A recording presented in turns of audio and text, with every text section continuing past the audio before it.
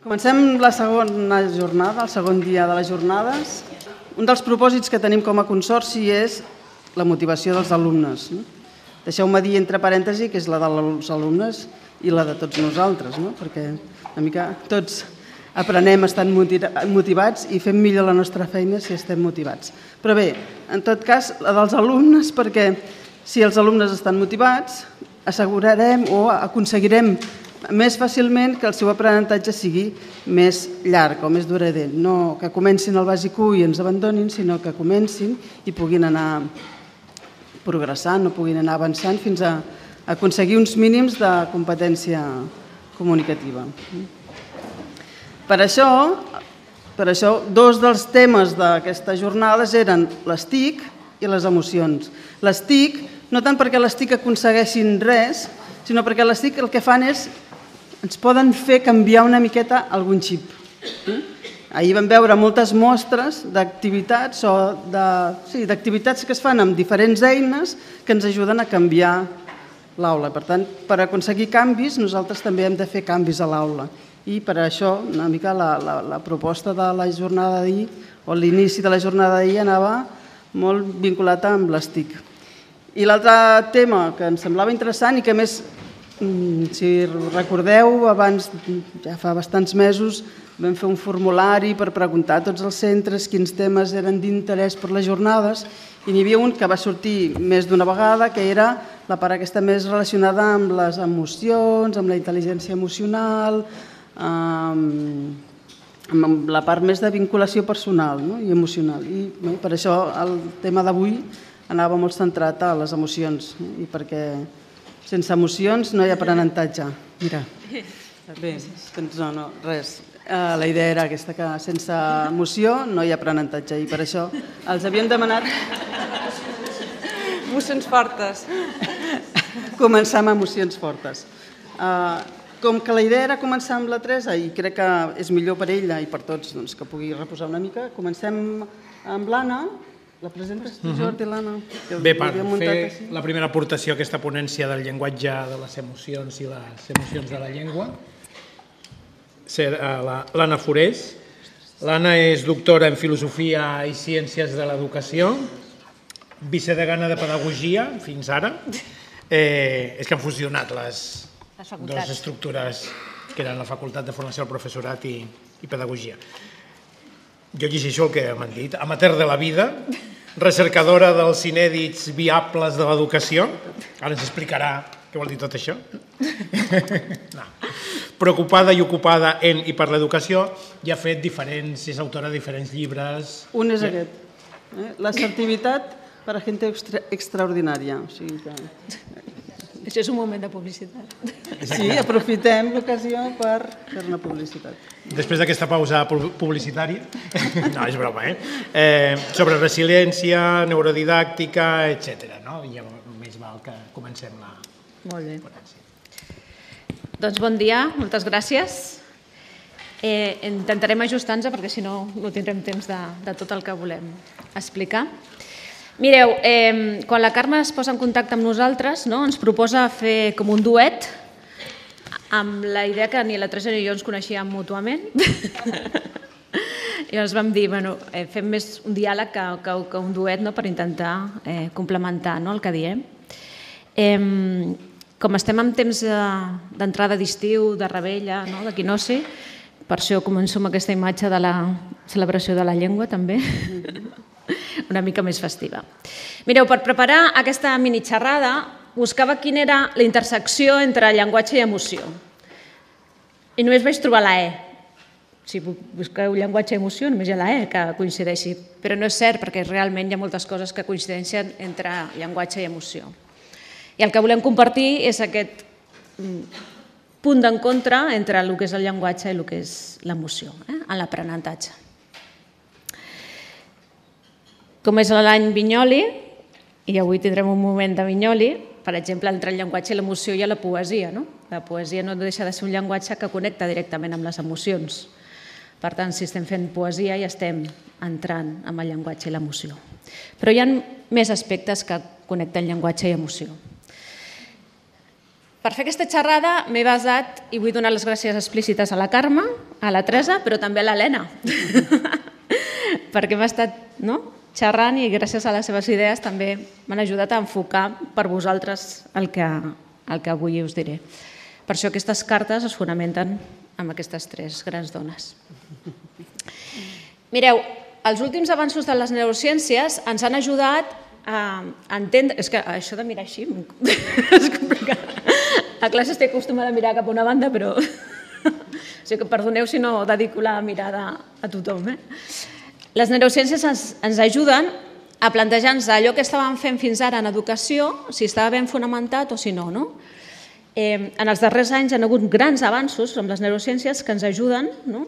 justament a dir, ostres, doncs, ho estàvem fent bé o això que creiem des del punt de vista neurològic no és tan cert no? i hem d'acabar d'ajustar.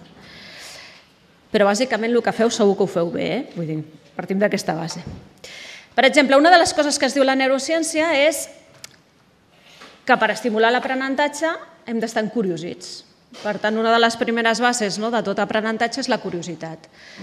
Com estimuleu la curiositat o com podeu estimular la curiositat? Segur que ja ho feu, no?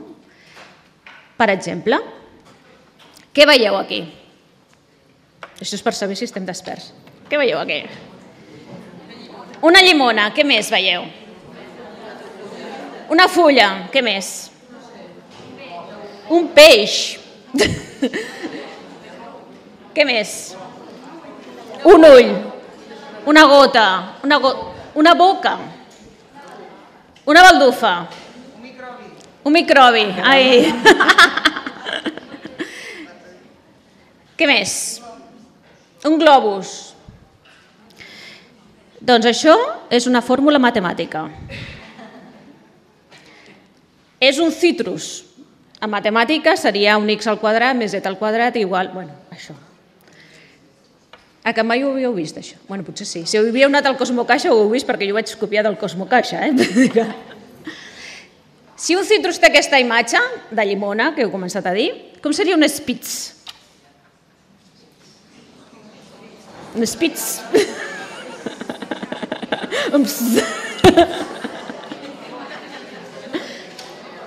Home, la pista és a baix, no?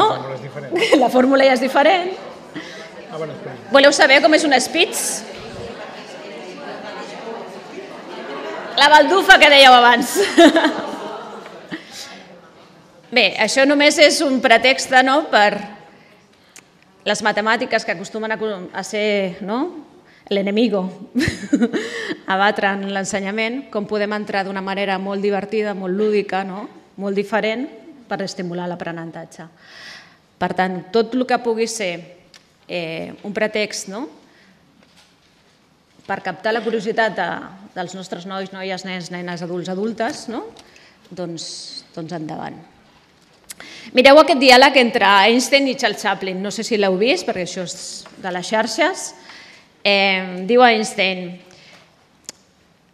a mi el que em sorprèn de vostè no, és la seva universalitat. No?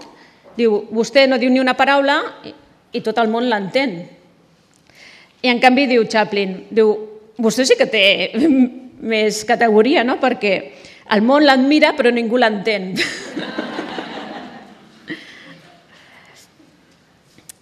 Bé, però de llenguatges i emoció no només tenim la paraula, sinó que tenim altres llenguatges com tindrem el plaer d'escoltar després. No serà una guitarra, però serà una sorpresa que teniu preparada.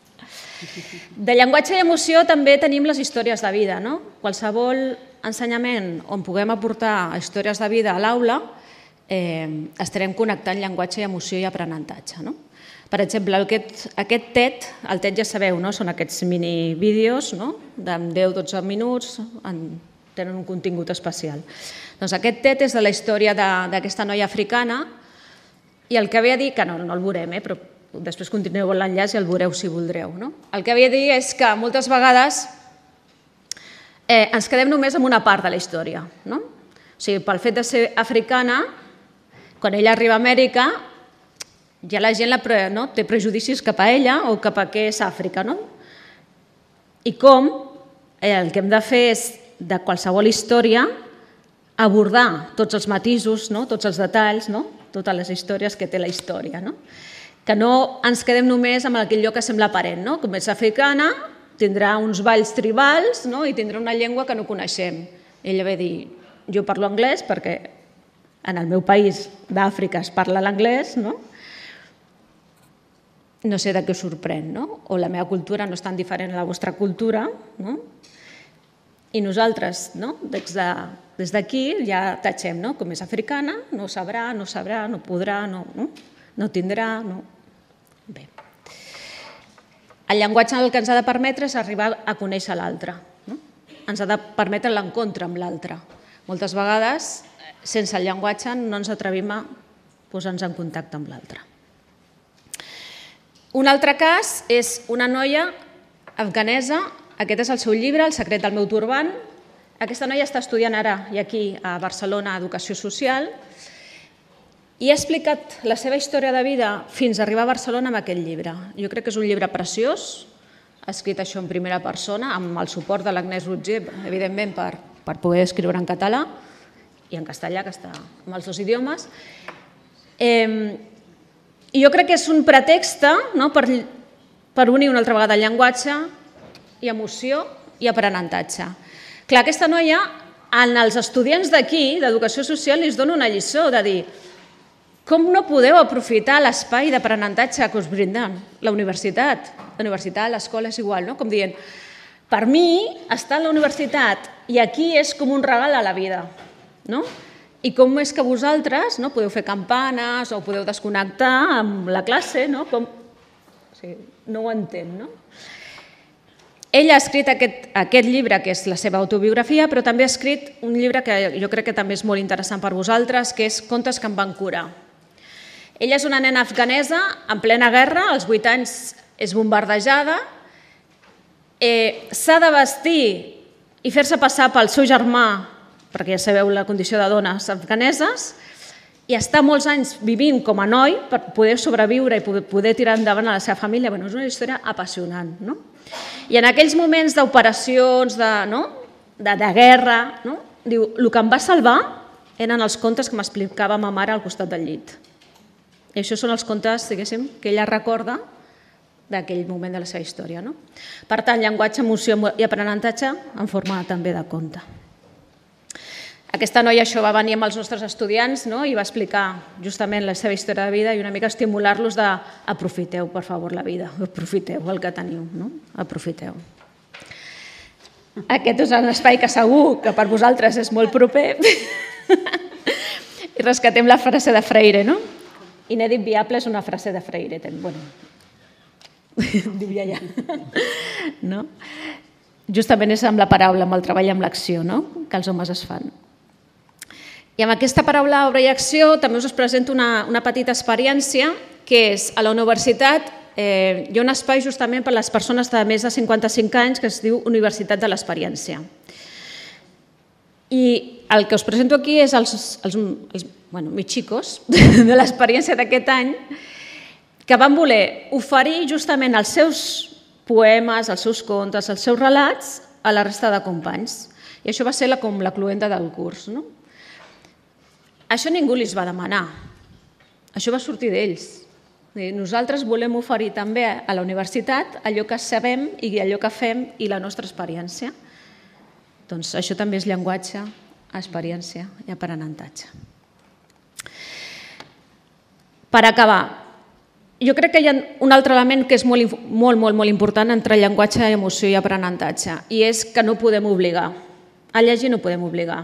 Eh? És com diu el Borges, no? el, ver, el verb llegir, estimar, somiar, no? no es pot fer per imperatiu. No es pot ordenar, llegeix, no es pot dir estima, no es pot dir, no? sinó que el que hem de fer és convidar. I per convidar a llegir, per convidar, no? doncs potser hem de crear contextos o entorns que estimulin aquest aprenentatge, eh, suggerir, però no mai eh, manar, no? buscar aquestes, aquests pretextos novament no? perquè la gent llegeixi. Bueno, vosaltres amb el TMB no crec que tingueu poder, però bueno, sí que podem fer. No? A vegades es deixen en algun racó d'un passadís algun llibre, per si algú l'agafa. No? Bueno, hi, ha, hi ha iniciatives d'aquestes, de deixar llibres en arbres i coses d'aquestes. Vull dir que Tot està inventat. I després també permetre que els estudiants eh, puguin expressar tot el seu aprenentatge amb altres llenguatges. Per exemple, aquest és el treball d'una estudiant de l'any passat, d'Educació Social. Amb aquest treball eh, evidenciava tot el seu procés en el pràcticum d'Educació Social. Clar, direu, això no és acadèmic. Bueno, o sí, perquè per arribar a fer aquesta construcció ell ha hagut de fer un aprenentatge i tota una reflexió de lo que per ell havia sigut justament el seu procés del pràcticum. No? Doncs per mi el pràcticum és com una llavor no? que jo he anat plantant, que he hagut de cuidar no? i que he fet germinar. I ella va agafar aquesta estructura perquè ell havia fet un, un curs de, de fusteria i un curs de jardineria. Llavors, com amb els nois que havia estat treballant, havia estat treballant la fusta i la jardineria, el producte final volia que fos coherent. No? I això, però clar, això també significa que nosaltres estem oberts a acceptar coses d'aquest tipus, clar. No? O una noia aquest any també feia aquest treball, també en aquest sentit, no? de dir, per mi el procés del pràctiques ha sigut com un laberint, no? on m'he trobat una sèrie d'elements, cada un d'aquests elements s'explica eh? què són aquests elements i per què, i per què són presents. I també és important en el llenguatge i l'emoció i l'aprenentatge tot el tema de la gamificació, de la ludificació del joc, vaja. No? Eh, I això també està sustentat amb les neurociències. No? Tot el que passa per la ludificació, per la gamificació, s'aprèn millor. I s'aprèn millor perquè ens permetem, per exemple, l'error. Quan estem jugant, no ens importa equivocar-nos. Quan estem aprenent, a vegades sí que ens importa equivocar-nos sobretot perquè tenim una cultura no, del boli vermell, no? que si t'equivoques, t'atatxo. Llavors, hi ha iniciatives eh, d'escoles que, per exemple, ja han prohibit el boli vermell i ara ja no es tatxen, ja no es tatxa, perquè tatxar significa que no et respecto el que tu m'has fet, sinó que, perdoneu, el que faig és, al costat, et dic què t'has equivocat o què has de fer per millorar però respecto el que tu has fet. Són coses petitones, eh? Però clar, tatxar significa esto no vale nada. Dic perquè això és emoció, eh, també. Per tant, us convidaria una mica al guavisabi. Diu, què és el guavisabi? No, no, no és l'overdet, eh, que pica, no. el guavisabi és una expressió japonesa que és un convidar a captar la bellesa de la imperfecció. La bellesa de la imperfecció. Si us fixeu, en l'art japonès no tot és eh, superestructurat, no? sinó que hi ha formes que són més. No? Perquè el que busquen és... Ells parteixen de la base que tots som imperfectes, com a éssers humans som imperfectes, per això són perfectibles, eh? per això hem de millorar. I per tant el que hem de reconèixer és la bellesa de les persones en aquest sentit. Com no són perfectes, jo t'he de respectar i estimar a tu tal com ets. I ets no perfecte, perquè ningú és perfecte. Bueno, si algú és perfecte, enhorabona. Però... I també convidar aquest Eh, més per menys, i amb això acabo, eh? Ja. És que estic fent... No, no, no. Més per menys. Eh, més per menys eh, és una de les primeres filosofies també imperants a Finlàndia, gran referent en educació últimament, no? i significa menys hores però més profundes. Els nanos finlandesos tenen moltes menys hores que nosaltres i estan traient més bon resultat. Per tant, no és una qüestió de posar-li hores, sinó és una, qüestió de saber treballar aquestes hores no? i estimular aquestes hores. En el llibre del Xavier Melgarejo eh, ho explica perfectament, no? però de totes aquestes coses, no? doncs, de triar ben bé el professorat, no? de dignificar la funció docent, no? de, de buscar, bueno, de garantir que hagin menjat bé els estudiants, no? de garantir eh, disciplines que semblen no fonamentals però que són fonamentals com l'educació física, la música, això és fonamental per l'aprenentatge. Fixeu-vos a l'últim, perquè això és Wabi Sabi, no? Aprend que aprender s'associa con lo bello. Eh? com despertem aquest plaer estètic de gaudir per aprendre. Com ho, com ho aconseguim? Doncs amb això, amb això acabaria. Tenim el vídeo, però ja, si després tenim temps ho posem i si no... Posa'l, sí. vols, Sí? Jo diria, em Sí? sembla bé que el posem ara, sí, perquè...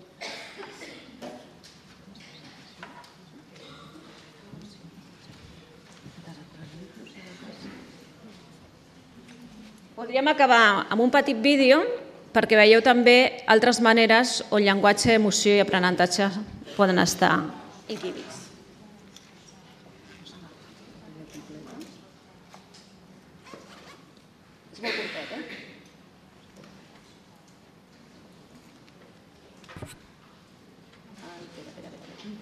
Sí. L'hem tancat abans el so.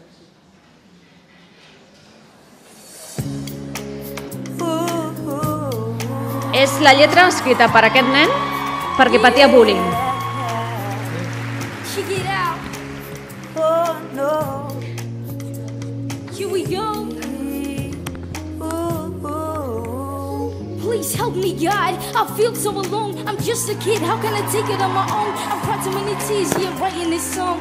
Trying to fit in where do I belong? I wake up every day, don't wanna leave my home. My mama's asking me, why I'm always alone. Too scared to say, too scared to holler. I'm walking to school with sweat around my collar. I'm just a kid, I don't want no stress. My nerves are bad, my life's a mess. The nature call me, they hurt real bad. I wanna tell my mom she's having trouble with my dad. I feel so trapped, there's nowhere to turn. Come to school, don't wanna fight, I wanna learn. So please, Mr. Bully, tell him what I've done. You know I have no dad, I'm living with my Just be mom. hopeful, yes I am hopeful for today. Take this music and Yeah. use it, let it take you. I like these two. Hopeful, Uh. hopeful, and he'll make a way. I know it ain't easy, but that's okay. Just be hopeful. Why do you trip back a single day? I didn't ask to be born, but now I have to pay. I ain't got no money, you take all I have. When I give it to you, I search for my bags. I feel so scared when you shout me down. You kick me, punch me, throw me to the ground. When I ask you, yo, what have I done? You hit me again, I make fun of my mom. Hopeful, yes I am Yeah. hopeful for today. Take this music, Check it out. it, let it take you away, and be hopeful, Uh. hopeful, and he'll make a way. I know it ain't easy, but that's okay. Just be hopeful. What I wear is all I Oh, have. no. We lost a home, I'm living from a bag. Yo, Mr. Bully, help me please. I'm flesh and blood. Accept me, please. Hey, Mr. Bully, I don't know what to do. My mind can't explain what I did to you. Mr. Bully, take it from me, please. Every single bring me to my knees. Hopeful, yes I am Uh. hopeful for today. Take this music and use it, let Uh. it take you away, and be hopeful, Yeah. hopeful, and he'll make a way. I know, I know. it ain't easy, but that's okay. Just be hopeful.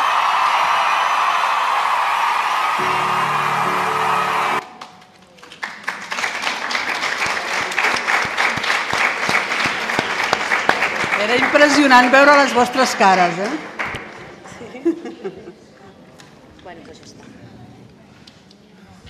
Molt bé.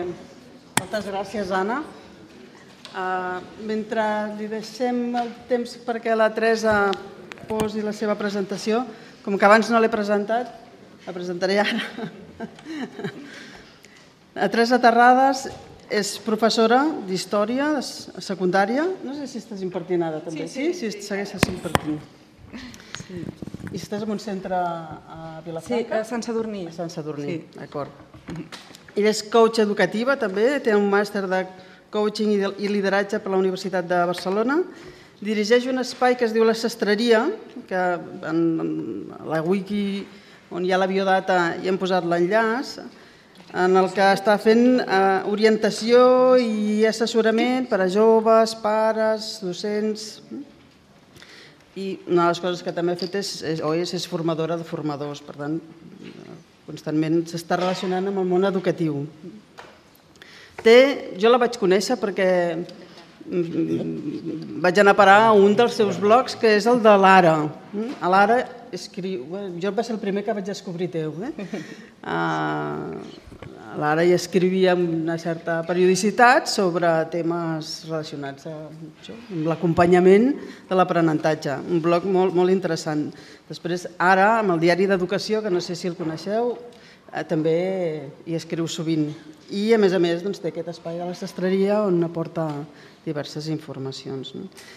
Mm, com que les persones tendim a, a convergir i a anar-nos trobant, em sembla que amb ella vam coincidir, ens seguíem a Twitter, ens havíem dit coses a Twitter, ens havíem, eh, havíem interaccionat, Twitter és, és la gran àgora que permet que fem tribu no només dins de la nostra institució, sinó fora, gràcies a, aquesta, a aquests espais doncs, eh, pots connectar amb altres persones, i unes són elles, totes dues, no?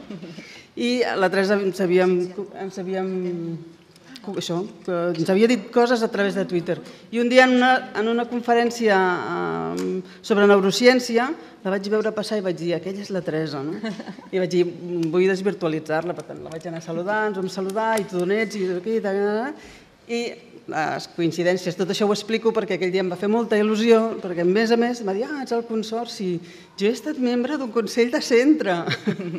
o sigui que les connexions de les persones, bé, el consorci també és un, és un ens per al qual hi ha passat molta gent, molta, no? o bé des de la vessant nostra de docents, com a alumnes, com a polítics, per tant, la Teresa ens coneixia més enllà de, del que sap tothom, sinó que ens coneixia una mica des de dins. Eh, va ser, no sé, em vas dir que no gaire temps, però durant un període va ser membre del Consell de, de Centre de l'Alt Penedès Garraf.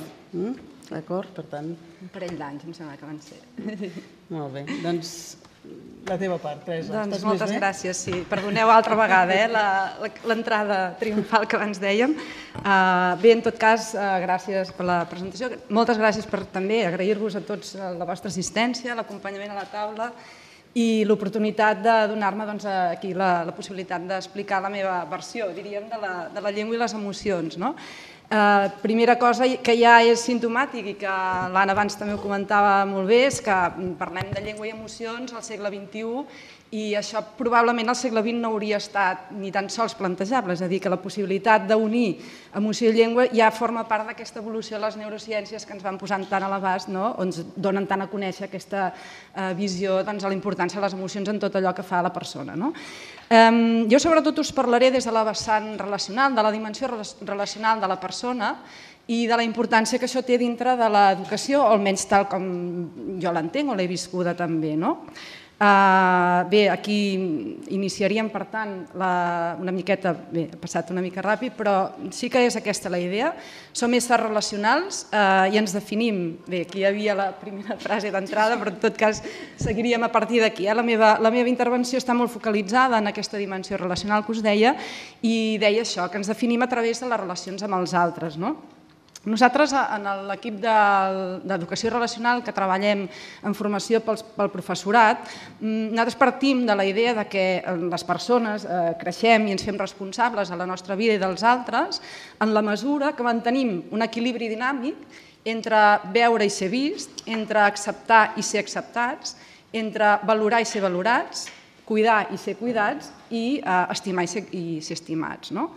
I en aquesta interacció nosaltres anem conformant la nostra personalitat, la nostra vida, la nostra identitat, podríem dir. No? Bé, en aquest sentit veureu que jo, mentre us ho comento, en tant en tant hi haurà alguna pregunta, així una mica per, també per vosaltres, si la voleu anar reflexionant mentre us ho comento, eh, com ara la que ara us plantejo. Eh, nosaltres, com us dic, partim d'aquesta idea de, de, la, de la construcció no?, que fem de la nostra identitat gràcies als altres, i, i jo us plantejaria aquí doncs, una, una qüestió que és molt capital a l'hora de definir-nos, que és quins han estat els nostres referents vitals al llarg de la nostra vida i quin llegat ens han deixat aquestes persones perquè són a través d'aquestes eh, evidències amb elles i de, de la seva, del seu referent que hem anat fent la nostra història. No? Per tant, mm, aquí hi hauria una mica aquesta pregunta, no? quins han estat els meus referents vitals, quin ha estat el seu llegat. No? En aquest sentit, molt breument, dir-vos que jo aquest exercici el faig amb alumnes a tercer d'ESO i ja porto ara alguns anys que cada any l'introdueixo perquè dona, evidentment, molt joc amb ells, com us podeu imaginar, però hi ha una cosa molt curiosa. Habitualment mm, els nanos t'expliquen que les seves persones eh, referents són els pares, habitualment és el més, això és el més general. Els avis surten molt, moltíssim, són eh, referents autèntics dels nostres nois i noies, però jo també em trobo, també us he de dir que darrerament mm, hi ha un element que m'hi crida molt l'atenció. Aquest any mateix, quan ho hem fet, hi havia alumnes que em parlaven d'amics de les xarxes socials i nois i noies que parlaven dels seus animals domèstics. O sigui, jo, jo crec que això és una qüestió de que alguna cosa canvia profundament, és a dir, les relacions humanes eh, van tenint, que també és cert que al voltant d'aquestes respostes hi han condicionants socials que probablement ho expliquen, eh? però em refereixo que, clar, la nostra vida actual, al segle XXI, està eh, de plena d'uns referents que fins fa poc temps tampoc no hi eren, no? Bé, en tot cas, eh, sí que podem establir que som el resultat de la nostra pròpia història, del que hem fet, com veieu, i del que hem, eh, de la manera en què ho hem viscut i com ho hem viscut. No? I aquesta és una mica la premissa des de la que jo us parlo, eh? des de l'enfoc de del que jo us volia comentar a partir d'ara. No? Llavors, si som eh, persones que nosaltres ens formem de la relació i ens creem a través dels altres, com ens relacionem, quins són els elements que ens relacionen. Fixeu-vos que mm, hi ha quatre elements fonamentals, eh, us parlo de la paraula, el que diem, de l'acció, el que fem, jo tornaré després a parlar-vos més de la paraula, ara us presento aquests elements, però veureu que em tornaré a referir a la paraula i la llengua. Entre la paraula i l'acció hi ha d'haver correlació, van molt lligades, on ens podem trobar amb una cosa que també ens és bastant habitual, no? com ara poder eh, dir una cosa però fer-ne una altra, això ho comprovem a diari no? entre els nostres polítics, per exemple, eh, entre el que diuen i el que fan, no? i es dona aquesta incoherència que ens acaba sent irritant moltes vegades. No? Per tant, aquí hi ha una, una, una correlació, com deia, i després hi hauria tota la vessant de l'emoció, que és el que sentim quan fem les coses. No? Llavors, en aquest sentit, eh, diríem que les emocions regulen les relacions personals i les nostres accions. Val? Per tant, tenen un pes molt important en la manera com ens relacionem i com fem les nostres accions, però que també és molt important a la seva vegada que en siguem molt conscients des de quina emoció nosaltres estem fent les nostres relacions i les nostres accions, perquè és molt diferent eh, que fem aquesta, tot aquest tipus d'accions des de la ràbia o des de l'alegria la, o des de la ira o des de la gelosia, val? tot això marca un tipus de relació, marca unes altres. De totes formes, també hi ha un altre element que no podem oblidar, que és que no és només que eh, hi hagi unes emocions que ens vagin determinant, sinó podríem dir que estem tan condicionats per les emocions que no podem fer una altra cosa que deixar-nos dur per elles, que tampoc estem dient això, eh, perquè tenim un altre element que abans heu pogut veure, el quart, no? que és el sentit, eh? la finalitat o el sentit de les coses que fem. No? Mm, el nostre estat emocional, per tant, està regulat eh, pel sentit o la finalitat. No? Eh, què és important eh, del que estem fent. No? Aquí també veureu que torna a haver una d'aquestes possibles reflexions no? de tots nosaltres. No? Quin és el sentit del que estic fent, què busco i a què no vull renunciar, perquè realment eh, en aquest sentit hi ha un equilibri no? entre allò que busquem i allò que no volem deixar o no volem perdre, i quin pes pot tenir tot això també en les meves relacions. Val? Per tant, aquesta seria una altra d'aquestes eh, preguntes, interrogants que nosaltres també ens podem anar eh, fent eh, per descobrir una miqueta, una més la nostra forma de relació. No? Bé, eh, si ara torno a reprendre la llengua, com us deia, que em tornaria a agafar el punt de vista de la llengua, l'element de la llengua, ho faig per poder-la donar o donar-li donar l'enfoc, diguéssim, dintre d'aquesta dimensió més emocional. No? Clar, nosaltres, no he d'explicar res que no sapiguem, fem sense llenguatge, passem dels sons no, al llenguatge progressivament, sempre ho fem i ho construïm eh, a través d'una coordinació amb els altres. Això és una cosa que fem acompanyats als altres. Per tant, fixeu-vos que la llengua no deixa de ser algo que rebem, una cosa que rebem, i és un regal que rebem dels altres eh, i que tenim gràcies als altres. No? Per tant, hi ha aquesta, aquesta situació no, en la llengua que val la pena de, com de reforçar o de tenir molt present, fins al punt que jo us he mm, portat dos exemples. Aquí n'hi ha un de molt clar que va sortir a l'Ara fa poquet, era l'abril, un estudi que s'havia fet a la Pompeu Fabra i que s'havia fet eh, en col·laboració amb l'Autònoma. Eh, havíem posat en persones que feien servir dues llengües habitualment una, evidentment, la més materna, la primera, i després l'adquisició d'una altra, però que feien a les dues habitualment, i els havien plantejat un dilema moral, i els hi deien eh, sacrificaríeu una la vida d'una persona per salvar-ne la de cinc? Llavors, quan els deien, ara responeu amb la llengua, bé, la segona llengua, l'estrangera, per entendre'ns, com que superava des d'una racionalitat molt més forta, el que la majoria dels que van fer l'exercici, tots responien que sí, clarament, no tenien cap dubte que sacrifiquessin la vida de la persona per salvar-ne la de cinc. Quan això ho havien de respondre amb la llengua materna, podríem dir, la nostra primera llengua, eh, què passava? Que llavors ja hi havia dubtes, apareixien els dubtes perquè intervenia molt més ja tota aquesta dimensió emocional, no? ves, pobre, eh? enteneu? La, la vida de la persona.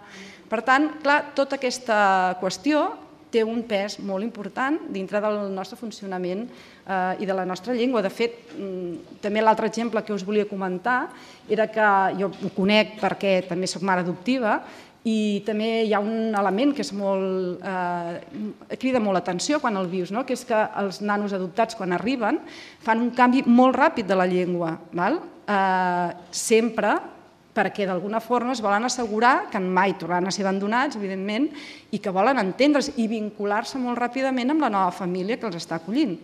Uh, curiosament, això no vol dir que l'entenguin la llengua, és a dir, després, molts d'aquests nanos és habitual que quan uh, tenen després aprenentatge a l'escola, justament presentin moltes dificultats de comprensió de la llengua i d'escriure-la, és a dir, que no, no implica necessàriament la seva comprensió, però sí la necessitat de vincular-se amb la persona que t'està donant la supervivència d'alguna forma. No? però això també ens passa a tots nosaltres. És a dir, aquí és molt gràfic perquè és deixar una llengua de cop i agafar-ne una altra, en el cas de l'adopció. Però això ens passa a tots. Quan nosaltres hem nascut i hem anat aprenent el llenguatge, ho hem fet en primer lloc perquè volem, eh, diríem, assegurar-nos la nostra supervivència, el nostre vincle amb qui ens ha de donar l'aliment i l'efecte, eh, les dues coses. De fet, en els orfenats saben molt bé que els nanos que han tingut menys efecte tenen moltes més possibilitats de morir eh, al marge de si el tema de l'alimentació ha estat cobert o no cobert, és a dir, pesa més aquesta altra, aquesta altra idea. No? Serien dos exemples no, que, que ens podrien indicar molt bé, per tant, eh, com ens vinculem amb aquesta llengua que, que aprenem. No? I després amb la llengua, clar, anem construint una vegada, ja l'hem anat adquirint, doncs una narració, una, una història amb la qual ens anem explicant la nostra vida. No? Vivim i actuem segons narrem, la paraula, per tant, és, com veieu, és el mitjà d'expressió en les nostres relacions i normalment ens ajuda a entendre i a comprendre la nostra quotidianitat. De fet, fixeu-vos que quan nosaltres expliquem el que ens passa, eh, allò que ens està passant, en funció de com ho, amb qui ho expliquem, canviem la nostra eh, versió posem més matisos, en traiem, expliquem un detall que en un altre moment no l'hem explicat, perquè tot això va conformant una explicació del que ens passa i ho modifiquem perquè som persones que no som, eh, diríem, oscil·lem, no, no estem estàtiques i, parades, sinó que la nostra vida es va movent i, i va circulant en funció de qui ens envolta i del que ens passa. No? Per tant, hi ha aquesta construcció de la, de la narració de la nostra vida i després hi ha un altre, un altre mm, aspecte de la llengua que també tinc ganes de comentar molt breument, que és que el llenguatge generatiu, és a dir, el llenguatge no tan sols ens explica mm, com són les coses o què passa, sinó que fa que les coses passin. Val? Uh, Humberto Maturana deia que el, el llenguatge o el sistema de, les, de conversa és, el, és la forma, diríem, de, de, és la forma de, de, diríem, de relació de les persones. Tot, deia que tot afer humà es dona en un sistema de converses. Val? Des d'aquest punt de vista, dir un sí o dir un no en un moment determinat, eh, respondre d'una manera d'una altra, ens va donant diferents eh, possibilitats de, de futur, és a dir, obrim o tanquem portes, eh, en generem de noves, val? per tant, hi ha tota aquesta qüestió d'obrir cap al futur, no? en una, evidentment en un món entès, com dèiem, un espai de possibilitats ample. No? També dèiem aturant això, no? que a través de les converses fem les cinc accions principals de relació, que són les que us volia comentar també, sense, no tinc molt temps ara d'entrar-hi profunditat, però eh, aquest triangle que veieu aquí, mm, des de l'educació relacional, l'Institut Relacional el fem servir molt per explicar les nostres cinc accions principals de relació. Val? Van acompanyades sempre, a més de la paraula, com us, mm, ja crec que és evident, del que és l'emoció, van acompanyades del, de l'ambient en què ens envolta, van acompanyades de, del que és la nostra energia vital del moment, és a dir, que tot això va acompanyat de més elements, però bàsicament en aquest triangle veiem les cinc principals accions que fem, que serien el demanar, l'oferir, l'acordar com el triangle de l'acció, nosaltres entenem que aquestes són les accions més eh, racionals que tenim, mentre que el reconèixer i l'escoltar operen més des d'un punt de vista emocional, val? i són els nostres reguladors relacionals. Llavors, jo de tots aquests, perquè avui no, no ja us dic, només per això podríem desenvolupar pràcticament una, una intervenció, eh, volia centrar-me bàsicament en el reconeixement, perquè per mi està molta de la part clau del que és l'aprenentatge actual i a més entronca molt bé amb el que l'Anna ens comentava abans. No? Eh, el reconèixer és, el que deies abans, Anna, del, del permetre l'encontre amb l'altre, és veure l'altre eh, i és dir-li que existeix. I per tant, això a l'hora d'aprendre una llengua o d'aprendre qualsevol cosa és obrir la porta a l'aprendre. No? Bé, en aquest sentit, eh, jo, bé, una de les conviccions que tinc per professió i per, eh, perquè ho he pogut veure molt, molt de primera mà, és que el reconeixement transforma. Però el reconeixement eh, i la forma de vincular-nos sigui la que sigui, és a dir, no tenir reconeixement per algú també és una forma de vincle, val? que és el que ens condemna a la invisibilitat, que abans també l'Anna anat fent referència. No?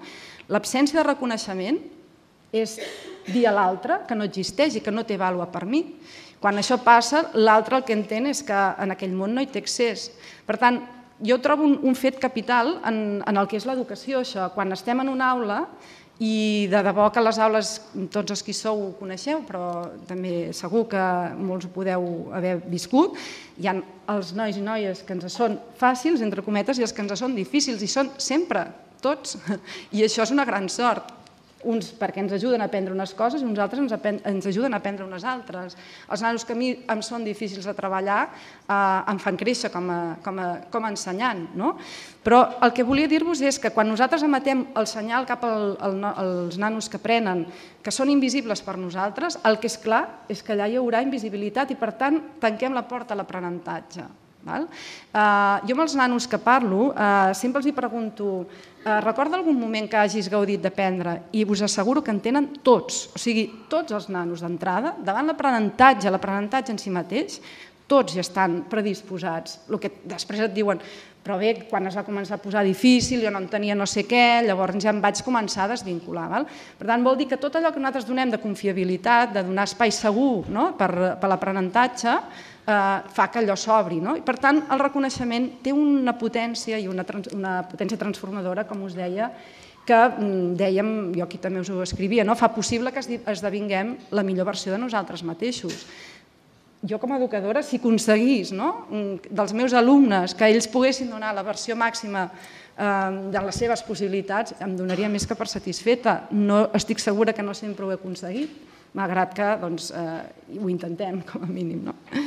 Val? Per tant, eh, bé, eh, us volia comentar aquest, aquesta part fonamental, Vygotsky també ho comentava, no? Vygotsky també deia que bé, l'aprenentatge es dona en la zona aquesta de desenvolupament pròxim, que és aquella en la que de la mà d'algú nosaltres som capaços d'estirar fins a la màxima d'algú que en sap més en uns, uns coneixements i unes destreses, podem arribar al màxim, però a part eh, també volia acabar fent referència a la meva intervenció amb un TED Talks també, com, com l'Anna, només que no l'he no dut tot sencer, eh, n'he dut la referència, simplement, no sé si heu vist mai el, el TED Talks de la Rita Pearson, és una educadora és una, aquí van tenir una mica la seva frase clau, és una educadora americana eh, en contextos molt desafavorits, aquest TED Talks és preciós, és, us el recomano vivament, Eh, ella treu de James Comer, que era un col·lega seu, que havia estat abans ja també treballant, va fer tot un programa per de, ajudar en el desenvolupament d'aquests llocs més complicats, i ells deien, ells, ells donen un valor excepcional a la connexió humana, no? Ells deien, cap aprenentatge significatiu pot donar-se sense una relació significativa. Si això ho tenim en compte, si això, si això és així, Uh, bé, jo crec que ho hem de posar en el primer, dels, no? dels, en el primer punt dels manuals de qualsevol, de qualsevol aprenentatge per part dels qui volem ser, en aquest cas, educadors. No? Clar, mm, ella comentava això, la importància de, de dir primer hem de comprendre i després ser compresos no? de cara a aquesta tasca educadora. No? I, I per tant reconèixer com reconec i com voldria ser reconegut jo. No? I d'aquí com hem après millor. També és una pregunta que és interessant fer-nos-la. No?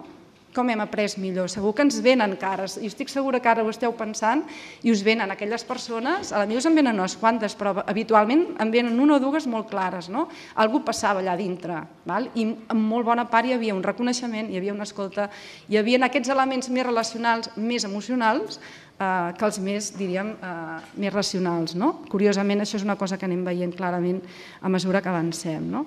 Mm, ja us dic, aquesta era una mica la meva aportació. Mm, eh, si tinguéssim la possibilitat de veure aquest vídeo també, en tot cas, la podeu, el podeu trobar molt fàcilment, però acabar amb aquesta, potser una frase una mica més eh, espiritual, si voleu, però tota llengua és un temple dins el qual hi ha l'ànima de qui la parla, per tant, la llengua que parlem diu molt de, també precisament de com som nosaltres i de qui som. No? i gràcies eh, per haver-nos escoltat i, i res, i estem aquí per continuar amb, les, amb la nostra conversa. Moltes gràcies.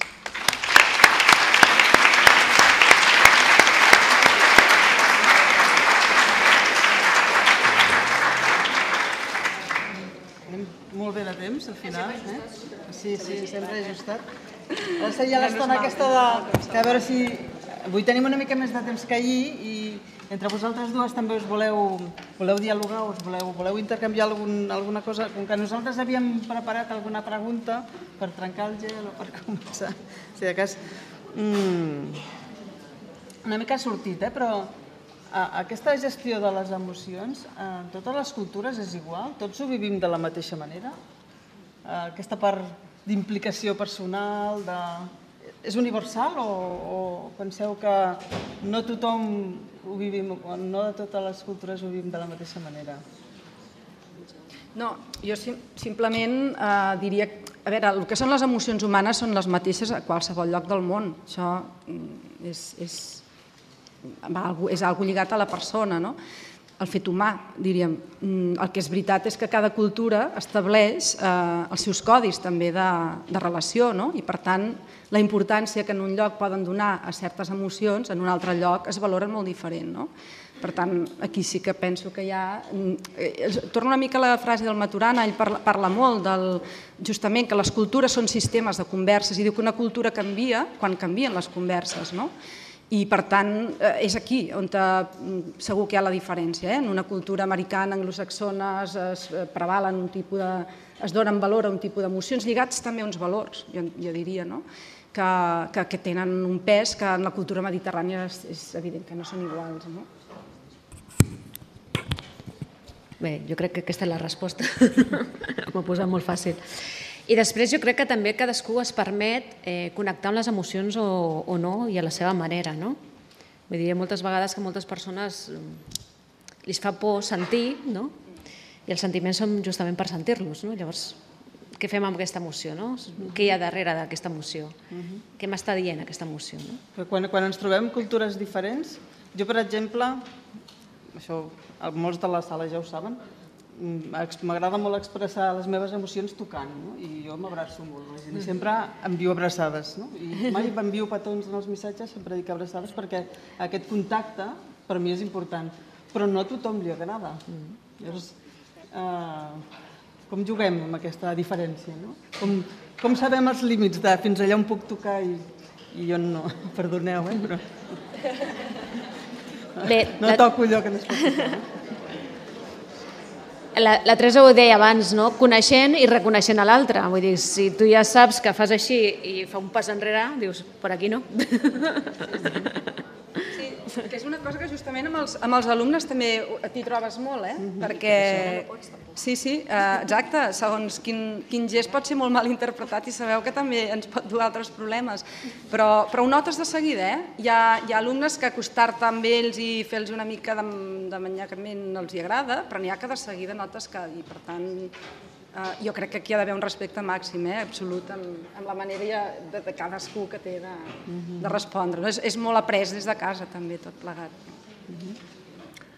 Una cosa, Teresa, tu ens explicaves això del, que en una segona, si et preguntaven el, a l'estudi de l'Ara, que va sortir publicat Sí. a l'Ara, vaja, no l'estudi de l'Ara, Sí, sí, sí. Eh, però clar, de tota manera, sí que podríem establir vincles amb una llengua presa. sí. Vull dir, llavors, la, la pregunta seria, o les preguntes, eh, creieu que aprendre una llengua també ha d'implicar, o sigui, una cosa és que es puguin donar i una altra cosa, hem de fomentar que la gent estableixi vincles emocionals amb la llengua que està aprenent? Això seria una pregunta que m'he fet ara mentre parlàveu. I l'altra seria, aquests vincles eh, s'han d'establir només a través d'allò que fem a l'aula o també s'han de fer, o fins i tot, potser l'aula és un espai més, no dic que no s'hagin de fer, però per exemple, quan ha sortit el tema de la Universitat de l'Experiència, pot ser una manera d'establir vinc- vincles, perdó, eh, doncs això, una activitat com llegir contes, poemes, participar o fins i tot fer alguna cosa més relacional com organitzar la mateixa activitat dels alumnes en aquesta llengua que estan aprenent. No? Vull dir, si ho veieu així o s'han de fomentar, s'han de fer aquest tipus d'activitats complementàries, paral·leles, etc. Jo, jo el que crec, no sé, eh, és sobretot que quan aprens una llengua, la, la, la primera que aprens, la, la, la, mater, la primera materna, podríem dir, eh, és, és com implícit no? la vinculació entre la llengua i l'emoció, perquè mm, torno a referir-me al que deia abans, o sigui, va molt lligat a aquesta, aquest assegurar-te l'efecte d'aquesta xarxa primària teva, de la família, no? de, de, de, de l'espai, de l'amor i l'afecte. Per tant, hi té molta relació i penso que en la mesura que en una llengua hi veiem que ens aporta confiabilitat o que ens aporta eh, un seguit d'obertura a relacions, eh, com l'aprenentatge a l'anglès a les escoles, moltes vegades ens ha costat molt de dur-lo endavant perquè s'ha fet molt des del punt de vista més gramatical, me- menys vivencial, i per tant la relació amb allò que ens podia servir la veiem menys. En la mesura que anem veient que allò ens dona possibilitats d'establir noves relacions, d'entendre'ns millor amb d'altres, anem veient la necessitat i per tant ens impliquem. O sigui que en el fons és com una cosa implícita, diria jo. Jo ho veig una mica d'aquesta manera, eh? no sé si l'Anna també ho veu. Sí, i, a- i a banda, els darrers estudis de neurociències el que estan demostrant és que la gent bilingüe eh, vivim més. bueno, si no es passa res més, clar, evidentment, perquè no, no, només per això... Estadísticament, si et toca el mig pollastre, ja... Dius, gran estudi, eh? Han de venir les neurociències per veure que ser bilingüe és positiu. Eh, però, bueno, a banda de, del sentit de l'humor, no? jo crec que, eh, seguint amb aquesta idea de la Teresa perfectament, eh? jo crec que amb la primera, evidentment, és molt més emocional, molt més de vincle, no? però que la segona, si tu la vincules com qualsevol altre tipus d'aprenentatge per l'emoció, entra molt més suaument i, i és altament positiva. És, és, és evident que l'anglès, si tens un amic a Anglaterra, una amiga a Anglaterra, I si tens un segur, nòvio? si tens, bueno, ja no ho he dit, eh, però si teniu fills, vull dir que clar, l'interès per aprendre una altra llengua sempre és quan s'han de relacionar, quan ens hem de relacionar amb les persones de l'altra llengua. I, per tant, aquesta part de vincle és fonamental. No? Doncs és com nosaltres, com a docents, què podem fer per aconseguir aquests vincles, no? I fins a quin punt, això alguna vegada ha sortit, no? Fins a quin punt jo m'he de vincular amb aquest alumne? On, on hi ha el límit? No? Hem de ser amics? No hem de ser amics? Fins on? No? Que... Bueno, jo, jo no hi poso la paraula amics, és, per mi és un altre nivell, tot i que el vincle i el reconeixement hi és, o l'estima fins i tot, o l'afecte fins i tot. Eh? Jo crec que hi cap sense que allò vulgui dir ser amics. Per mi l'amistat està en un altre pla, també, no? És com quan amb els pares també han de ser amics. Quan entrem en aquesta confusió de rols, a vegades és quan també pot ser que ens perdem una mica.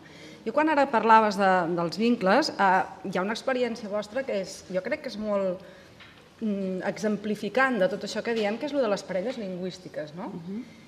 El fet de poder, no, a través d'una conversa eh, entre una persona d'aquí, una persona que arriba, que no coneix la llengua, tenir aquesta assiduïtat, jo a casa meva també ho he viscut, el meu pare ho ha fet molts anys, això, i jo, jo ho he trobat sempre mm, preciós. No? Jo aquest any he viscut una experiència en un institut que s'ha fet, en aquest cas no per aprendre una llengua, sinó que alumnes a primer de batxillerat han fet d'acompanyants eh, per donar suport emocional i, i acadèmic eh, als nanos de primer d'ESO que arribaven a l'institut. val? Jo us puc dir que l'experiència és fantàstica, o sigui, és, és realment eh, d'aquelles que et diuen anem per aquí, és que ens estan donant molta pista. Quan els nanos ho expliquen, han fet vincle amb aquesta, entre ells s'han fet vincle i a més a més acompanya i dona més coixí a la cobertura que a vegades les accions tutorials no poden arribar a fer per l'accés de feina, pel que vulguem. No?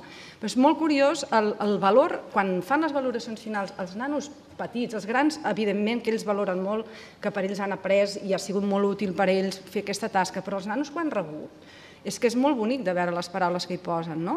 M'han donat esperances, he après a estudiar, eh, m'he après a concentrar millor, m'he organitzat millor. Per tant, aquí tenim molta pista, no? Vull dir que tot això, fixeu-vos que passa molt en l'esfera del vincle i de l'emoció, no? Simplement... Ah, hi, ha, hi ha un conte que es diu de Kosovo amb amor, em sembla que es diu així, el coneixeu? No. Que és del David Duran, sí? No. Està dins d'un llibre que es diu Entremats i, i és un llibre que molts de vosaltres segur que el coneixeu perquè n'hem parlat moltes vegades sobre, sobre aprenentatge col·laboratiu o cooperatiu. I eh, el David explica diferents... És del David i del Monereo, de tots dos. I expliquen diferents tècniques. I sempre les il·lustren davant amb contes. I n'hi ha un que és... Jo el trobo deliciós i és aquest. I explica justament com eh, és una, és l'estratègia és tutoria entre iguals, com una... Primer, totes les dificultats d'entendre que un, un autòcton o un d'aquí, que de fet era d'aquí però no, era no català no parlant, havia d'ajudar a, a català el, el, una persona que venia de Kosovo. Bé, no, ja, ja us el llegireu, és, però és que és deliciós per tota l'experiència que viuen els uns i els altres i el vincle que estableixen, gràcies a això, el noi al final torna al seu país no? i bé, és un conte molt maco. No sé si hi ha l'Anna per aquí, hi és o no? No, no hi és. Ah, sí que hi és. És maco, Anna, eh? és que jo el trobo, el trobo deliciós, el conte. Eh? L'Anna és que és propera al David Turan, eh? Molt bé. Uh, fem una cosa, uh, aporteu les vostres preguntes i conversem una mica entre tots. Allà hi ha el Jaume, ui, alguns pot... Ai, no, avui no tenim els, els micròfons. Sí, sí, que estan. Sí? Ah, gràcies. Saps com funciona, oi, Jordi? Ah. Molt bé. Algú més, a banda del Jaume, vol dir coses? O vol, dir, vol intervenir? Per... Ah. Sí. Jaume. Sí. Uh, D'entrada, que gràcies perquè era hora que les emocions... Dic que gràcies... Aixeca't, aixeca't. No, home, no. Va, sí. Dic, d'entrada, gràcies perquè era hora que parléssim de les emocions en l'aprenentatge i en l'aprenentatge de les llengües. Eh? Llavors, tinc dues preguntes, si no es veu usar, una per cadascuna. Començo per tu, Teresa, que ets la darrera, que has parlat del reconeixement, no? que era tan important en l'aprenentatge. Llavors, com lliguem el reconeixement amb les certificacions? Amb les certificacions? Amb les certificacions o amb els exàmens o l'avaluació, no? que a vegades això és contradictori. I l'altra pregunta seria per l'Anna, que el tema de treballar les emocions a l'aula a vegades fa por o espanta, perquè eh, amb adults no sé si pots generar o fer emergir eh, traumes, ferides, conflictes amb els alumnes, o que a vegades tu mateix, sense saber-ho, provoques algun conflicte a l'aula que no el saps gestionar.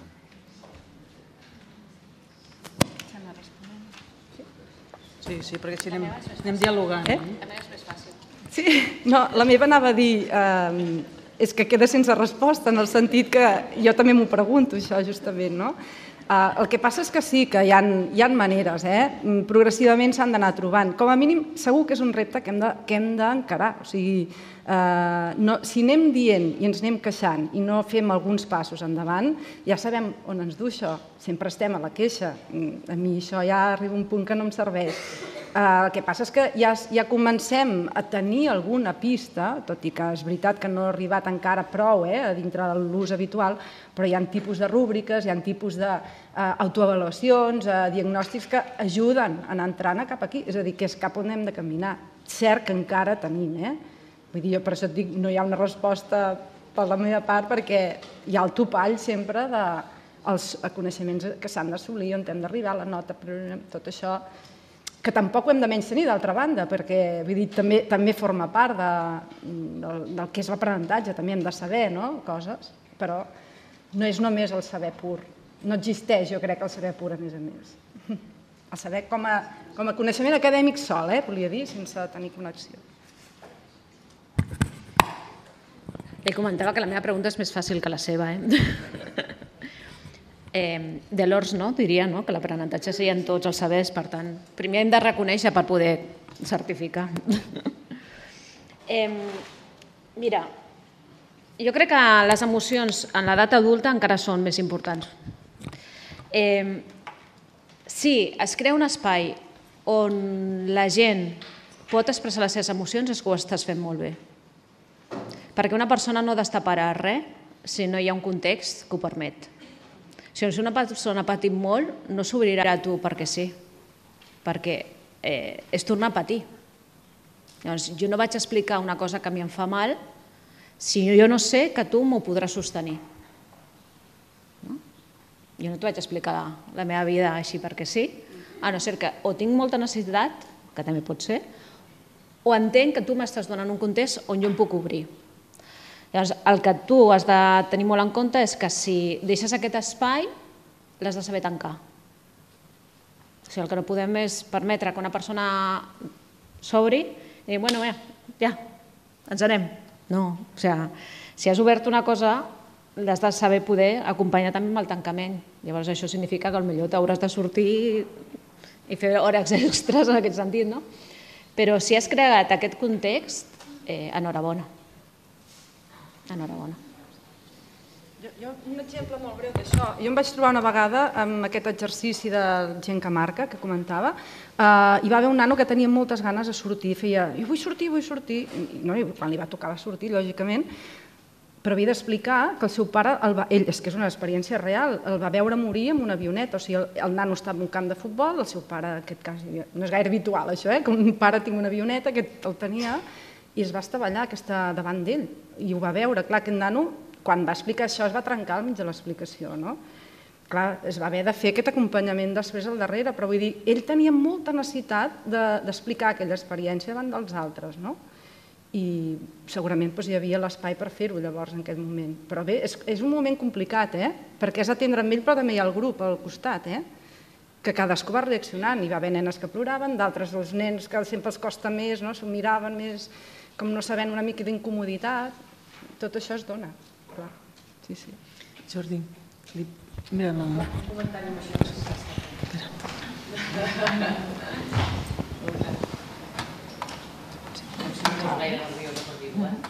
No, dona. Som, som de casa.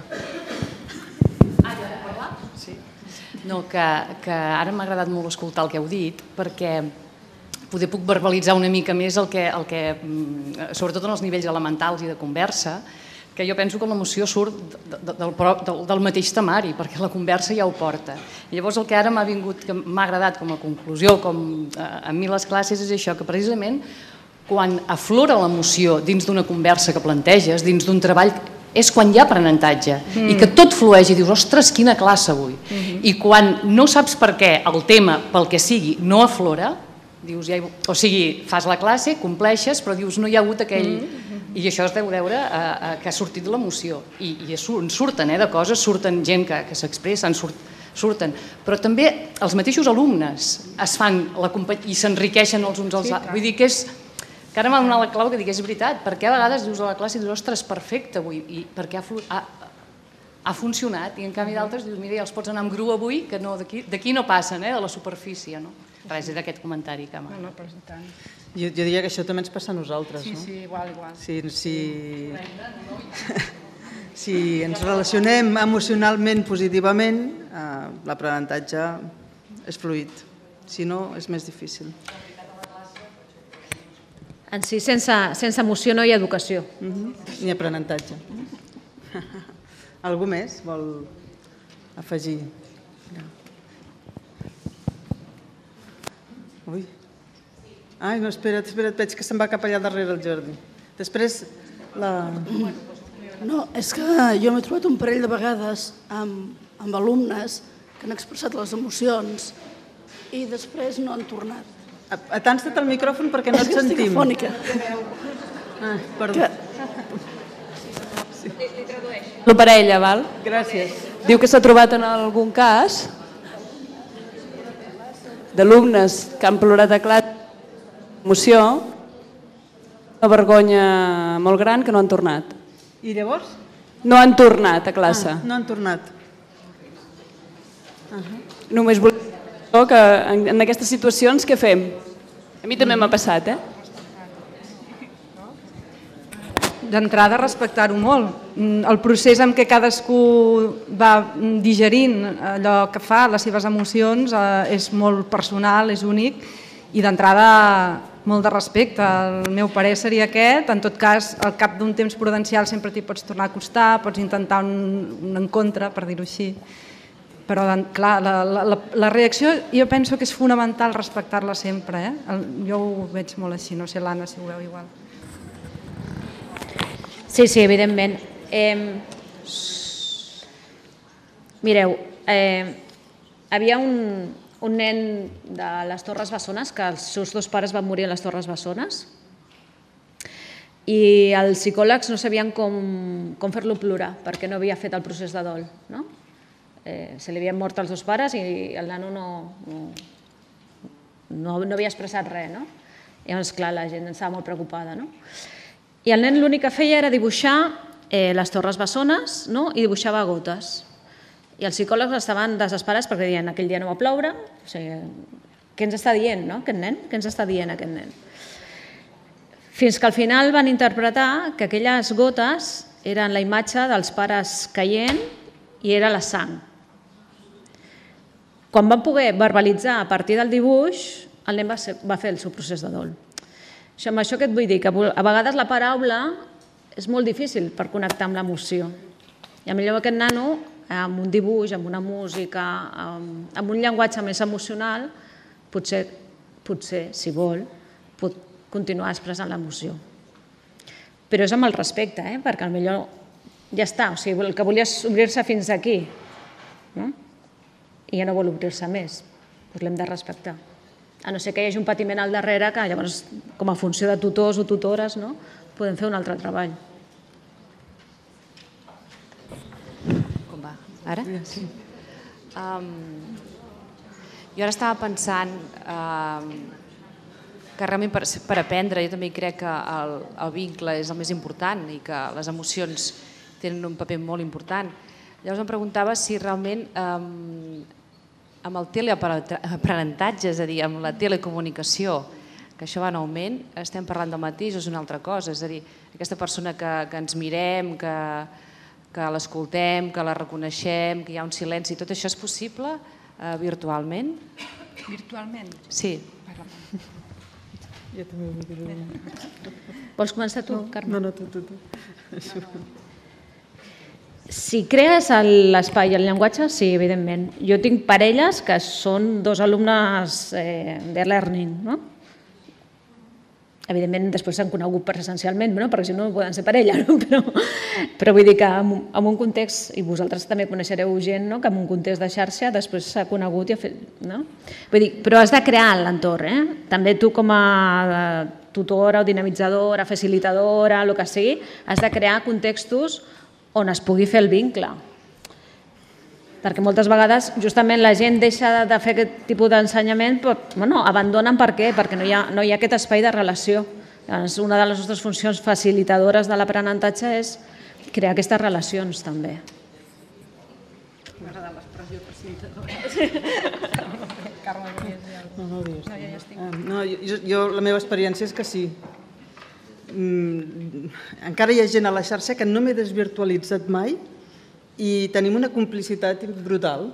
I jo, no sé, de la xarxa, per aprendre jo, eh? ja no, no només perquè la meva experiència com a docent a, a distància, sinó per el meu aprenentatge. I les complicitats es tenen encara que no ens trobem. El dia que ens trobem, no? el dia que va, vaig dir és la Teresa, és la Teresa, vaig tenir necessitat d'anar-li a fer l'abraçada perquè a mi m'estira això, però Uh, després potser estarem un any més i no, no sé quan i no ens veurem, però estem connectades i tenim un... No? I amb l'Anna, a través de Twitter, a través de Facebook, que estem connectades a través d'aquests mitjans Sí, sí, sí, sí. I la meva experiència a la UOC fent distància, jo amb els, tinc estudiants que seguim trobant-nos a Twitter, ens seguim trobant, i hi ha una connexió brutal. Jo crec que això depèn molt de, de les persones, eh? de, de les dues bandes. Sí, sí, però es creen les complicitats, vull dir que es dona el vincle igual, és, eh, curiosament, eh, amb uns tifars més que uns altres, al final. Bueno, la presència després arriba, si ha d'arribar, no? Però em refereixo a això, que, que realment es donen les mateixes coses que es donen en la presència física sense la presència física fins que hi és, no? Però se'n donen molts elements comuns, molt, molt semblants, que no... Jo ara això no voldria que es confongués en què diem que mm, la xarxa substitueix, ni molt No, menys. no, no. A mi, per exemple, em va alarmar, entre cometes, que els nanos em diguessin que els seus millors referents són no sé quin amic de la xarxa. Vaig pensar, ostres, ni s'ha tocat amb ell, no, tocat, enteneu-me, no, no s'ha vist ni d'allò, només s'han parlat allò amb el seu llenguatge whatsappero, no? en algun cas però vull dir que no, no, no, no li trec gens, en el contrari, però sí que el, el fet de aquest vincle es pot crear en aquesta esfera virtual. De la mateixa manera que en una presencial pot ser que no n'hi hagi. Sí, sí. Perquè, perquè, perquè jo crec que depèn sobretot de les persones, tant si és a, a, a distància a la xarxa com si és presencialment. Bueno, aquesta és la meva modesta opinió. Eh? No, no, sí. Molt bé, hi ha algú més que vol participar de la conversa? No? Ah, doncs, eh, en tot cas, ho deixem aquí. Espero que un aplaudiment.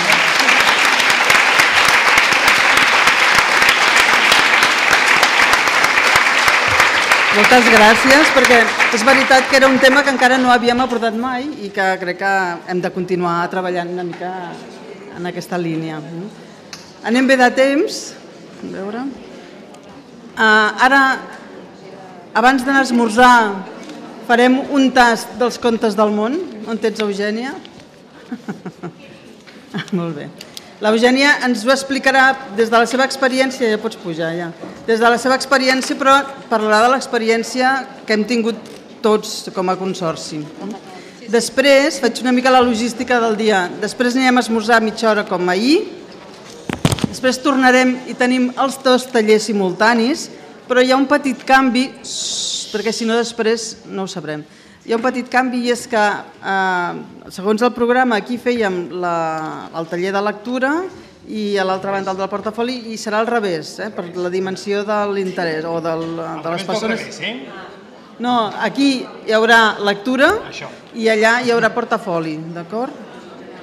Després de, dels dos tallers, després dels dos tallers farem, i ho farem una mica, anirem, hem d'anar una mica jo, seguint l'horari, eh? farem la, les bones pràctiques, les dues bones pràctiques de Barcelona i al final, no em deixo res, i al final hi ha, eh, després hi ha la, la presentació, una mica de, de resum de, els relators de tots els tallers, no sé si tots en sou conscients, tots els tallers hi havia, hi havia uns relators que han pres nota de les idees rellevants que, que s'han tractat a cada taller.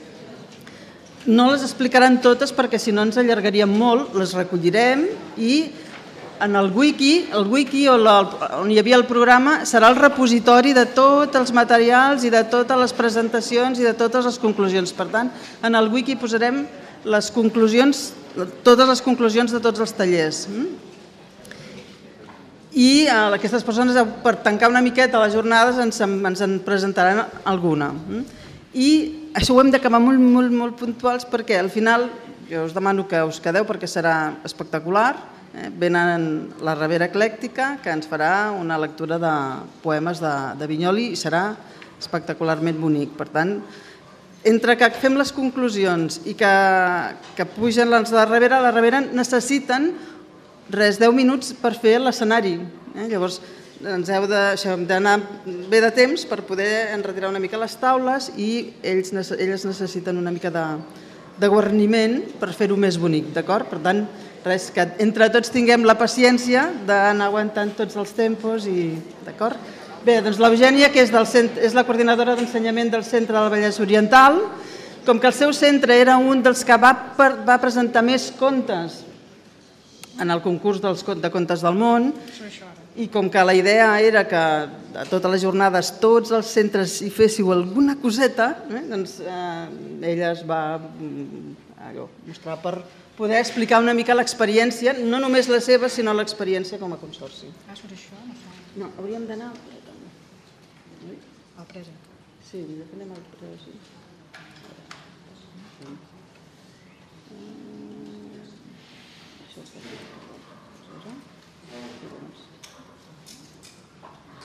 Que des d'aquí podràs navegar bé. Sí, i si cas... Us em sent? Sí. Des d'aquí... Pantalla completa. Perfecte. Penso per aquí així, no? Sí, o per aquí pel ratolí, per no em vulguis. Bé, doncs començo. Hola, bon dia. Us explicaré la nostra experiència pel que fa a la participació al Contes del Món al Centre del Vallès Oriental. Aviam. Eh, Contes del Món eh, organitza aquest concurs de contes des de fa 5 anys i eh, com soc, Comunicació Social és una associació sense ànim de lucre que promou... Ai, no se sent? Així? Va. L'entitat que organitza el concurs de contes és Com soc, Comunicació Social, que és una associació sense ànim de lucre que promou una comunicació transformadora i que té seu a Barcelona i es va crear el 2006. Fa diferents activitats i una és això, el concurs de contes, que s'engloba la potenciar la cultura popular i, i de tradició oral. Eh, el primer que havíem de tenir en compte a l'hora de participar en el concurs és les característiques que havia de tenir el conte. Eren unes característiques determinades. Aquest any eh, el concurs incorporava la participació del, dels adults. Fins ara hi podien participar els infants i joves des de cicle inicial fins a batxillerat i aquest any era el primer any que, que deixaven participar o que podien participar els adults. Eh, pel que fa a la modalitat d'adults, hi havia tres categories. Eh, la primera de nivells inicials i bàsics, la segona nivells elementals i intermedis i la tercera suficiència i superior. Els contes havien de ser populars, tradicionals, o també podien ser de creació pròpia, lliure. La durada, perquè el conte s'havia d'enregistrar, havia de ser, eh, s'havia d'enregistrar en format MP3 i no podia ser superior a 4 minuts. I la música que s'incorporava en l'audició del conte havia de ser de creació pròpia o bé lliure de drets. A més a més, el conte també incorporava una imatge en Dinar 4, que és la que il·lustraria quan es publiqui el conte, es, doncs hi hauria el conte escrit i després el dibuix, que il·lustraria el conte. Pel que fa al consorci, eh, es van presentar 23 contes, la data límit de presentació era el 23 de març i aquí els centres que hi van participar o que van presentar contes. En total 23 i 9 centres de normalització lingüística. Pel que fa al CNL del Vallès Oriental, nosaltres vam presentar la proposta en una reunió de tècnics i sí que en un principi vam pensar que seria adequat que hi participessin els alumnes de suficiència o nivells més elevats, però després a la pràctica em va sortir tres propostes i es va iniciar l'activitat amb els cursos de nivell elemental 2. Nosaltres vam presentar, pel que fa a Granollers, dos contes, eh, que eren una adaptació d'un conte original pel que fa a Llinàs, es va presentar un conte de creació pròpia i pel que fa a Sant Celoni, eh, van fer sis, sis contes, però només en van presentar cinc, perquè un, la durada del conte o l'enregistrament era superior al que es demanava als requisits del concurs. Bé, aquesta és la nostra participació.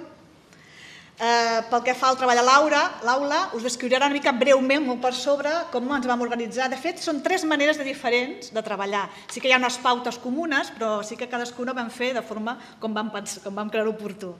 Van ser l'Irma Vallès, la Montse Márquez i jo els que vam fer els comptes, o vam treballar eh, la participació en el concurs a l'aula. Pel que fa a Granollers, es fa, es fa fer un curs elemental 2, era un curs de 17 alumnes, que els teniu, Eh, aviam, eh, en principi nosaltres, en el curs de la Granollers, el que vam fer, vam dir als alumnes que busquessin un conte i el portessin a l'aula. Jo no vaig dir que fos en català i per tant va haver-hi versions. Hi ha gent que va portar en català, gent en castellà, gent en diferents idiomes. Val? El vam portar a la classe I després, un dia ens vam reunir, vam dir de la classe en dos grups i van intercanviar els contes. No, no calia que es llegissin, van explicar de què anava, com anava, i cada grup va decidir un conte, va per votació va decidir un conte. De manera que nosaltres vam presentar en el curs elemental 2 de Granollers dos contes, triat per cadascú, cada grup. Pel que fa a la creació del conte, jo no em vaig atrevir a fer això, una creació lliure, així és, vaig dir, va, vinga, no, i la vaig guiar una mica. És a dir, el que vaig fer, en una classe, vaig portar el conte resumit com a referència, com a punt de referència del conte original i vaig agafar, vaig passar el conte retallat, vaig anar traient parts. Trec el final, trec una part i vaig dir als alumnes que completessin el conte amb diàlegs, eh, fins i tot van crear nous finals. La veritat és que un conte va quedar molt similar a l'original i l'altre va quedar, no tenia res a veure, molt divertit. Aquí hi ha més o menys descrit el que vam fer. Eh? En principi vam treballar el conte a l'aula unes 6 hores aproximadament, sense comptar la inscripció prèvia, després la revisió del professor, l'havíem de picar, i després també l'enregistrament a la ràdio. Nosaltres vam tenir la sort que vam poder enregistrar a la ràdio i també la col·laboració de la ràdio que va buscar els efectes sonors i la música. Això ens va anar molt bé, perquè si jo hagués de fer jo, la veritat que m'hagués costat una mica. I després, pel que fa als dibuixos, en el nostre cas va ser una companya de feina que va fer el dibuix, que va il·lustrar els dos contes, l'Anna Codina. Pel que fa a Llinars, també 11 alumnes, aquí els teniu, va començar diferent l'activitat. No va dir als alumnes que busquessin un conte, sinó que va passar exercicis de comprensió. Va passar dos contes escrits i va treballar la comprensió lectora i una comprensió oral amb un altre conte. Es va treballar a grans trets les característiques del conte, el tema, la moralitat, els personatges, la història, i es va decidir presentar un sol conte, de creació lliure, pròpia. Els alumnes, els 11 alumnes es van dividir el conte en diferents parts i cadascú es va encarregar de fer una part del conte. Es va posar en comú a l'aula i després va haver-hi eh, la lectura, m'he deixat abans també, hi ha la lectura a la classe per treballar-la abans de fer l'enregistrament a l'aula. I en el cas de Llinàs, quan es va fer la lectura, la pràctica a l'aula, es va veure que durava massa i es va haver d'escurçar el conte, perquè també era un, era un repte això d'haver que el conte durés una determinada, amb els sons i tot. I després, en aquest cas, es va fer la gravació a l'aula, no es va anar a la ràdio. I el dibuix també, una persona externa. Pel que fa a Sant Celoni, aquí els tenim també, tots, eh, es, va fer, es van dividir en grups, aquest grup va presentar molts contes, va presentar sis contes i estaven agrupats entre dues o tres persones. Està bé, es va treballar la redacció, la redacció la van treballar fora de l'aula i després la van consensuar per petits grups, la van consensuar a la classe. Després, eh, no m'he deixat abans, eh, pel que fa, quan es decideix fer la gravació, també s'ha de tenir en compte que es creen nous grups, perquè, per exemple, si un conte l'ha fet dues persones i després en l'enregistrament hi participen cinc, vol dir que es torna a fer diferents grups. Hi ha, el, hi ha el tema de redacció per grups i el tema de l'enregistrament, que normalment sol ser diferent pel que fa a la redacció de, del conte. També, en el cas de, de Llinàs i Sant Celoni, la ràdio no va, no va, no va incorporar... Els, dir, el professor va ser qui va buscar els efectes sonors i la música, tant a Llinàs com a Sant Celoni. I pel que fa als dibuixos, el van fer els alumnes, pel que fa a Sant Celoni i una persona externa. A partir d'aquí, aquí us hem incorporat un vídeo perquè l'organització, com soc, també donava la possibilitat, de, mentre estava fent l'activitat, venir a gravar perquè, per, per gravar com es feia i perquè els professors o els alumnes doncs, poguessin expressar la seva experiència. Aquí teniu l'enllaç, en aquest vídeo hi ha un professor, la coordinadora i els alumnes que expliquen la seva experiència i les, les conclusions i les valoracions que ja veureu que coincideixen molt amb les que també fem nosaltres. En el cas de Llinàs, s'ha de dir que, a més a més, l'Ajuntament de Llinàs eh, va publicar el llibre, ah, no, deixat, deixat allà, que és aquest d'aquí, el va publicar i en la festa de final de curs, és aquest, mira que bé, mira que bé, eh? va, va, l'Ajuntament de Llinàs va, es va encarregar de la publicació del llibre i al final de curs, en la festa final, doncs van regalar aquest llibre, d'obsequi als alumnes de l'Elemental 2. I pel que fa a Sant Celoni, a més a més, la ràdio va anar emetent periòdicament els contes que s'havien fet. Mm? Què més? Després, eh, bé, hem presentat els comptes el 23 de març i el 8 d'abril sabem quins són el, els semifinalistes. Aquí els teniu. Del consorci hi ha 10 comptes semifinalistes. Dels 23, 10. Aquí són tots. I comença la votació en línia per Twitter i Facebook. És a dir, a partir d'aquí, d'aquests contes semifinalistes, s'ha de votar quins contes seran publicats en un llibre on només hi caben 24 contes. Aquí ho diu, eh? Es presenten 132 contes de 47 centres educatius i durant 10 dies es va votar via Facebook o Twitter quins contes seran publicats en un llibre amb el CD. Va, eh, sí. Va, què més? Conclusions. A veure, eh, aviam, ha servit moltíssim per cohesionar el grup.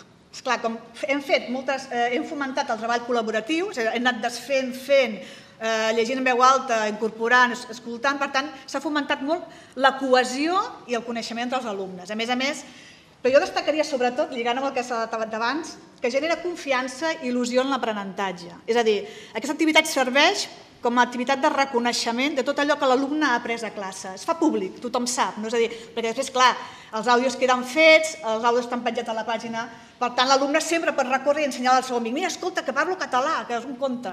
No? Per tant, jo crec que el més positiu és això, un reconeixement públic, un, una activitat que, on hi ha l'emoció, perquè és emocionant, és a dir, fer una activitat amb una llengua que no és la teva, te'n vas a la ràdio, has de parlar, i allò és no s'ho podeu imaginar. Jo va haver un moment que jo estava allà obsessionada. Jo veia l'alumne i la frase que havia de dir constantment. Perquè...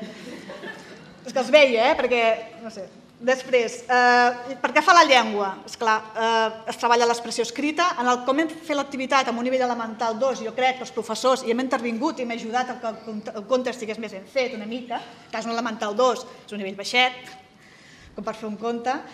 Eh, ajudar, eh? O, o dirigir, o, Eh, per tant, es treballen els recursos lingüístics, pel que fa al vocabulari, frases fetes també que vam incorporar per donar una mica més de gràcia al conte, i sobretot, molt important, és treballar la fonètica. És a dir, a l'hora de treballar la lectura a l'aula, la vam haver d'assajar el conte a l'aula i per tant la fonètica és, és el que millor es treballa, que si la O sona U, que si la... Això va anar molt bé. Mm?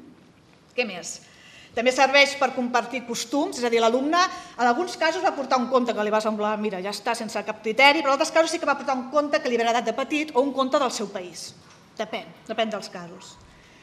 I després també potencia la col·laboració amb les ràdios locals. És a dir, en aquest cas es va emetre per la ràdio i sempre hi ha un lligam més. No? En el nostre cas potser a la futura Granollers es fa alguna cosa amb la ràdio, per tant és un nou contacte i un nou entorn. Propostes de millora. Aviam, és veritat que ens hem dedicat molt de temps. Segurament és perquè no en sabem prou, és a dir, en un moment que diem, ens hem ficat així a la valenta i després ens diu, va, a veure què passa. Per tant, hi vam dedicar moltes hores, moltes hores i també la inseguretat de fer una activitat que no havíem fet mai. És a dir, no? Tampoc ells, però tampoc nosaltres, tots dos. Per tant, estàvem una mica insegurs, hem dedicat moltes hores, moltes més de les previstes. Mm? Després, una altra idea, no? nosaltres ens vam centrar al curs elemental 2, però també hauria estat possible fer-ho amb diferents nivells. Per exemple, no sé, que l'E2 digui quin tipus de comptes vol fer i faig un esbós, que l'intermedi 2 l'acabi de redactar i que la suficiència passi a la correcció. No sé. És a dir, si participa en diferents nivells, sempre la gent està més motivada. Mm? O, o, a més a més, dona visió de conjunt, de centre o de servei. Què més? Milloren el sistema de votació. El sistema de votació és una mica complex. És a dir, un cop surten els semifinalistes i s'ha de votar per veure quins comptes són publicats, s'havien de compartir els comptes via Facebook i via Twitter. I allò era complex d'entendre, era molt complex, és a dir, jo em costava. I després també entres una mica en una cursa a veure aconseguir vots, que a mi, no sé, m'estressa una mica, eh? És a dir, jo trobo que està molt bé que hi hagi un jurat, que voti, que decideixi els semifinalistes, però un cop es passa a la fase final, que entrem en vots, passa que també està bé perquè, clar, l'entitat també es promociona i tothom sap de què va i també, mira, tothom en parla. Després, la publicació del llibre. La publicació del llibre no està garantida. És a dir, en un principi, les bases del concurs ens deien que, eh, com ho deien, eh, que es publicaria el llibre, però un cop es van decidir els finalistes del concurs, eh, es va iniciar una campanya de cofinançament que es va iniciar el 12 de maig i que acaba avui 20 de juny per recollir diners per la impressió o per fer una part del cost del total d'impressió. Per tant, és a dir, es presenta que qui estigui interessat l'ha d'encarregar i a partir d'aquests diners de micromecenatge pot ser que es publiqui el llibre o no. Això no ho sabíem eh, al començament. O si més no, no ho teníem gaire clar. No passa res, però si als alumnes li dius una cosa, després sap una mica de greu. Però res, ens ho vam passar bé igual. Eh? Què més? No sé, em sembla que no he dit res més. No sé. Molt bé, jo, jo sí que vull dir una cosa abans d'aplaudir-la, i és que tot, tot aquesta, aquest projecte l'hem pogut fer també gràcies a la Direcció General, perquè com soc es va adreçar a la Direcció General, Direcció General es va adreçar a nosaltres, i qui va pagar la inscripció va ser la Direcció General, eh, que abans no ho he dit i ho volia dir. Bueno, ara sí l'aplaudiment per ella.